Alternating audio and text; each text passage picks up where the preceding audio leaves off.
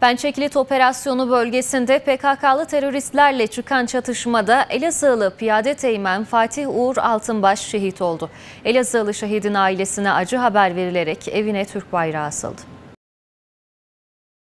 Pençe Kilit Operasyonu bölgesinde PKK'lı teröristlerle çıkan çatışmada Elazığlı piyade teğmen Fatih Uğur Altınbaş şehit oldu. Şehidin Ulukent Mahallesi'ndeki baba evine acı haberi Elazığ Valisi Ömer Toraman ve 8. Kolordu Komutanı Tüm General Tamer Atay haber verdi. Elazığlı şehidin baba evine Türk bayrağı asıldı. Şehidin 27 yaşında olduğu öğrenildi. Şehidin cenazesi 2012 yılında polis memuru iken Ankara'da görevi başında geçirmiş olduğu kalp krizi sonucu hayatını kaybeden babasının mezarının yanında toprağa verilecek.